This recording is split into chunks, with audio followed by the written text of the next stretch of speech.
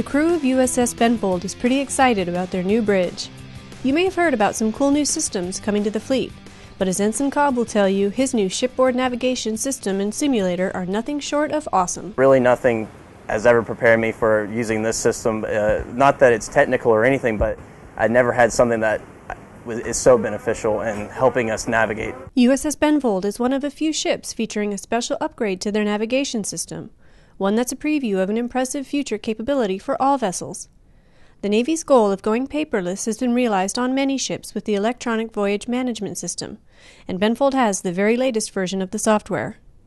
Benfold's navigator gave us the highlights of the vessel's new VMS. The computer takes into account things like our set and drift, takes into account our speed and our rate of turn and type of rudder angle we're going to use, and gives us a great prediction of where we're going to turn and how we can actually maintain that track.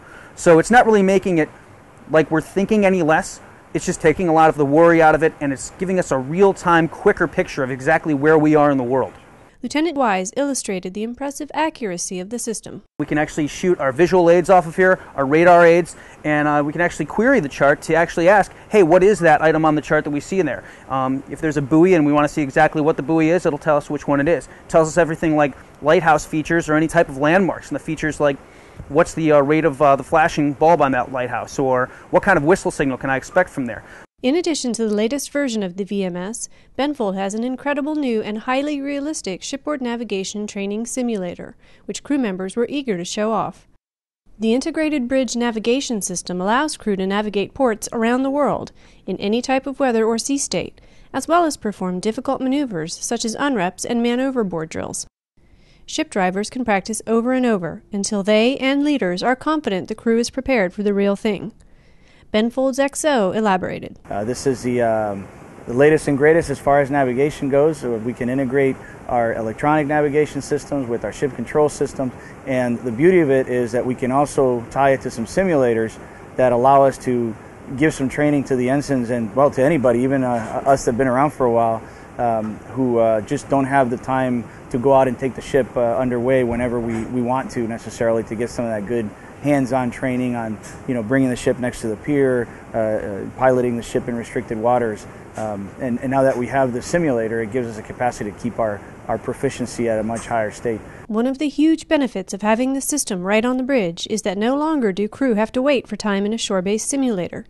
They can practice any time, day or night we got a demonstration of the simulator in action. He's navigating the ship all by himself um, on the simulator. We have the, the uh, charts here on the right, and he can just take a quick glance. It's not going to be precision navigation if he's by himself per se, but the, uh, the system gives him where the ship is tracking. It gives him vector of the pre predicted uh, location where the ship is going to be a few minutes down the road. And uh, over here on the left, he has uh, the ability to control the engines all he did was a uh, little bit of touchscreen action there and uh, accepted the order, accelerated the ship. He's uh, controlling the, uh, the helm all by himself. Ensign Coleman gave us a tour of the simulator's touchscreen interface. Somebody's capable of just going up here and doing it themselves, controlling the speed over here for the lee helm.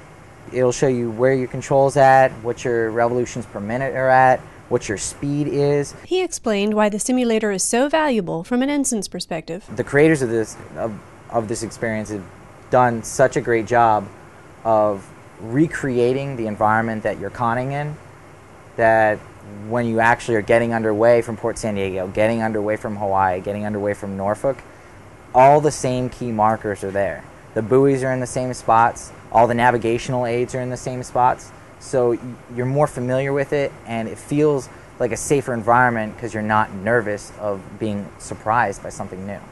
Incredibly, the sometimes complex scenarios crew members practice on are created on a laptop.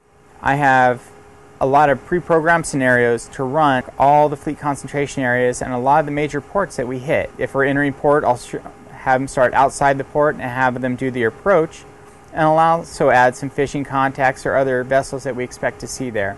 Commander LeBron said the value the new VMS and simulator bring to Benfold is immeasurable. There is absolutely no doubt in my mind that this is making us better mariners, uh, just by virtue of the fact that we can practice and practice and practice. The benefits that we get from the system is, is it's hard to quantify.